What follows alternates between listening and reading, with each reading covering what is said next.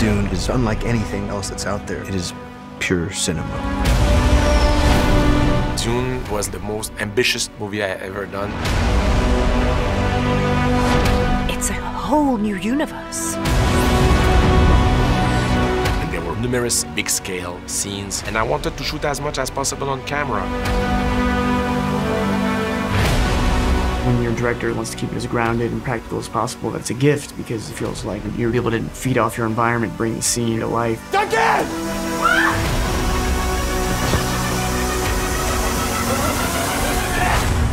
I think people are going to be blown away. Benny and I start with the illustration book so everybody knows what type of movie they're working on.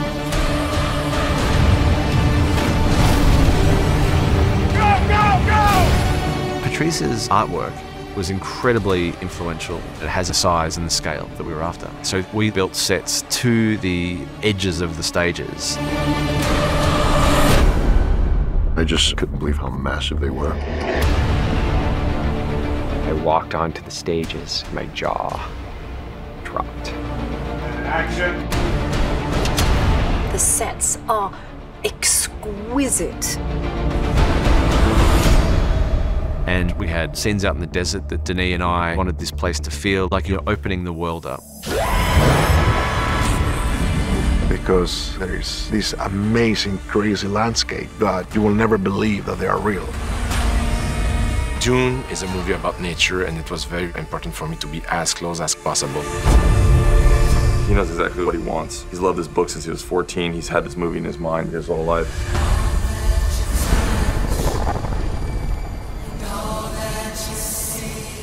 So there is an aesthetic to this film that's just different.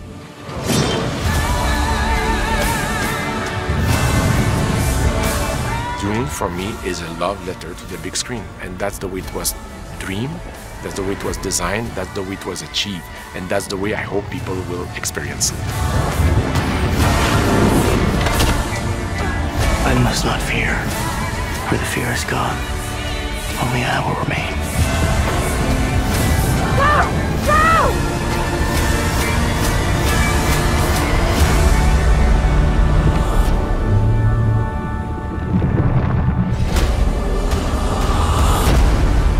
Villeneuve has a grasp on character-driven narratives, small in scope or large in scope. Thanks to Frank Herbert, here's a story that's on that scale, but with characters and relationships and stories. You know, and if these were the things that made me want to act. There is no call we do not answer. There is no faith that we betray. Dune is the story of the Atreides family that falls into the trap set by the Emperor, who is getting more and more jealous of their growing popularity. House Atreides stands as a beacon where every other house in that galaxy is in reference to that, either as enemies or as friends. He wants to not only make sure that his people survive, but that his son is the kind of leader that he thinks he should be. Paul Atreides is the son of Duke Leto and Lady Jessica. And my initial conversation with Denis was simply begging him to, you know, be able to take part in the film. The great houses look to us for leadership, and this threatens the Emperor. Gurney Halleck and Duncan Idaho did feel like big brothers. You know, they rib him, especially Jason. He's the protector of the Atreides. I mean, he's definitely the head knight who watches over the family. Sarkar! I mean, that's his sworn duty. I mean, that's what any honorable knight soldier does. No! Duncan! I mean, that's his family. That's who he bleeds for. Gurney Halleck is a combat trainer, and he's a warrior. Oh man. Now fight! He's a very strict but fun, visceral, paternal, maternal. He's all of those things to Paul. Paul Atreides, you are your father's son. You are my son. Lady Jessica is part of the Order of the Bene Gesserit. This order that she's a part of, we can say, would make her perhaps the non-traditional partner to Duke Leto. This group of women who carries enormous strength and power. They are bodyguards, they are fighters, they can read people. And this is what Jessica is having to deal with being a mother, a lover, and this Bene Gesserit. How can the Emperor take everything we've built and give it to that Duke? When it's a gift, not a gift. Every uh, movie needs its, its uh, bad guys, and the Harkonnens are the old ancestral enemies of the Atreides. The Harkonnen have been a very dark, sadistic family in this galaxy. Frank Herbert created a very powerful character into Baron Vladimir Harkonnen. He just shows up and then his shadow looms throughout the film. He's the cause of many people's death. He feeds off of fear, he feeds off of pain. He's a vicious, sadistic person. Now squeeze, Rabbit. Squeeze hard. Yes, Uncle. And the Fremen. Kill them all. The Fremen are native tribes, people living in the deep desert. They had the capacity to adapt to the toughest environment deep heat, massive sandstorm, dangerous predators all around. Stilgar is, is the leader of the Fremen. He is a powerful character and he's a warrior, but also is a warrior. He, he worries about the future. Take good care of your family. Dr. Kynes. On the surface was seemingly just somebody who's an ecologist, someone who cares about the Fremen. But then you start to understand how much pressure she is actually under. Paul is dreaming about this strange young woman that uh, keeps talking to him in his dreams. Paul. She feels like an old friend again and, and someone that like uh, wants to guide him. Follow the friend. Chani is native to Arrakis. She's used to this hostility between her people and the people that are trying to take from her lands. She's a fighter at the end of the day. House Atreides and the Harkonnen of an ancient grudge, and the forces that they're up against are much greater than he had anticipated. They're on a path of conflict, and it's the uh, moral catalyst to Paul's arc towards something greater. My friends, if you look at the very first mountain there, Denis Villeneuve is simply an incredible director. His passion for the material, first and foremost, the earmarked copy of Dune on set that was battered and beaten and bruised with his passion. I discovered uh, the book in my youth, in my teenage years. I remember being fascinated by its poetry, by what it was saying about nature. It's very powerful and complex story. Still, we try to approach it from a simple angle. I dream about Dune for a very. But at the end of the day, what will move the audience will be the performance of the actors. He knows exactly what he wants. He's loved this book since he was 14. He's had this movie in his mind. This is one of his dream movies. I asked him once if what he is making now looks like what he had imagined. And he said yes. There's something quite vulnerable and, and incredible when it comes to Denis' films and characters. What he's done, it's so dreamlike.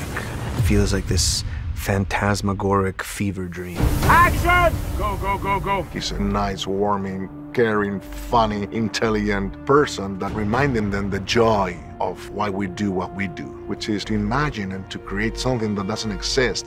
He is a director who really understands how to create the most creative set, the ambiance for people to be at their best. To see him with the others just having a good old laugh between shots and takes, it just makes it feel like family working with him.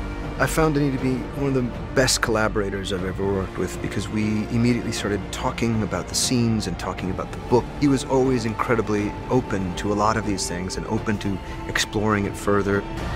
Denny is so thoughtful with everything that he does. I don't think there's any part of anything that he hasn't thought through like a million times. For me, cinema is an art form, so I want the audience to be blown away.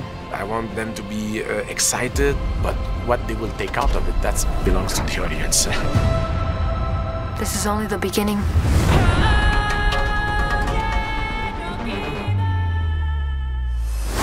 For me, I love makeup when I don't see it. I started to work with Donald Mowat. I was very impressed by his sensibility. Donald is all there for the characters. He's very subtle, very precise. Come on, old man. I think one of the most interesting things working with Denis is you kind of come to the table with sort of an open slate. You start with certain references, and I'll bring him pictures, and we sort of compare notes. So we talked about some of the things that really stood out. Obviously, the Baron, certainly anything to do with the main cast. We really covered each character.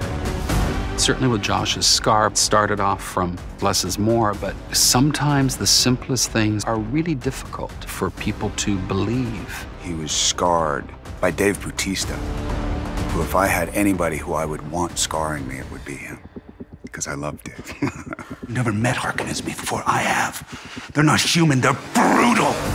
The Harkonnens have a clean shaved face, kind of smooth, and eyebrow blockers, which is quite a complex makeup. The makeup lends so much to the character. I mean, the first time I looked in the mirror when the makeup artist completed the look for the day, I just saw Piter. It's amazing. Uncle, how can we let this happen? How can the Emperor take everything we've built? I know the Baron would be big, but it really is big. Arrakis is Arrakis. And the desert takes the weak. I thought of friends of mine who are based in Sweden. Love and Eva created the whole suit. So it's a huge, huge undertaking. I had long discussions with Denis about where I wanted to go with it and that he looked different, that he had a presence that you hadn't seen before. It was difficult because I didn't want the Baron to look like a caricature. I wanted to feel a menace of that massive human being and that weight. Kill them all. Stellan was quite frightening as the Baron. Fantastic performance. We worked incredibly hard at making something that we hope people will, will like and value for kind of some artistic merit and contribution. People are hungry to see a fantastic, well told, interesting story. And I hope that they see something they didn't expect to see. I must not fear. Fear is the mind killer.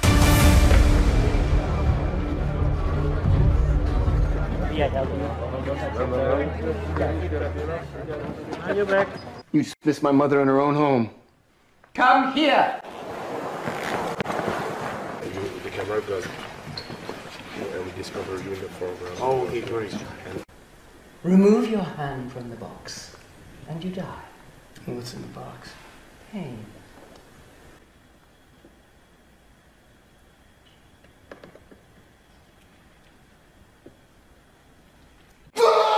Silence! Oh, yes. I will go back. Ok. Il y a things and it's rough. Meuf, c'est c'est pas moi. 4% slower, 5% slower, 6%. We could have been here actually all day on this. Yeah, I know. So thank goodness we finally understood each other. Do not brush against the bush lest you leave a thread to show the way. Where we go, no one must follow. That because he is there.